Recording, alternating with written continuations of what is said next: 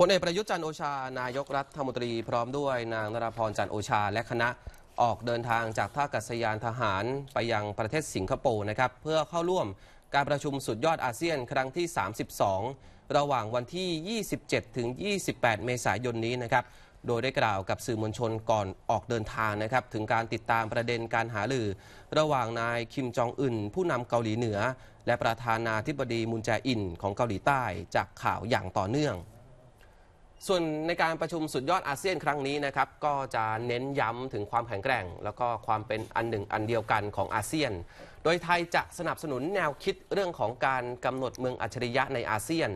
โดยจะมีการหารือนะครับถึงความเป็นไปได้ในการเชื่อมโยง smart city ของไทยกับประเทศอื่น ๆ ผ่านนวัตกรรม และเทคโนโลยีที่มีอยู่ในปัจจุบัน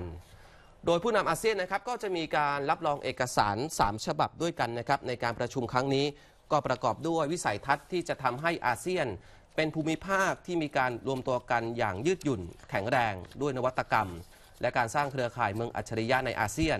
เพื่อการเชื่อมโยงกับภูมิภาคอื่น อย่างแข็งแกร่ง ก้าวทันต่อนวัตกรรม และเทคโนโลยีใหม่ที่เกิดขึ้น เพื่อรองรับภัยคุกคามทางไซเบอร์ ซึ่งทั้งหมดถือเป็นการปูฐานนะครับปูทางการเป็นประธานอาเซียนของไทยในปีหน้าด้วยนะครับ ปีนี้เป็นสิงคโปร์นะครับเป็นประธานอาเซียน ซึ่งปีหน้าก็จะเป็นไทยแล้วนะครับซึ่งประเด็นการหาลือ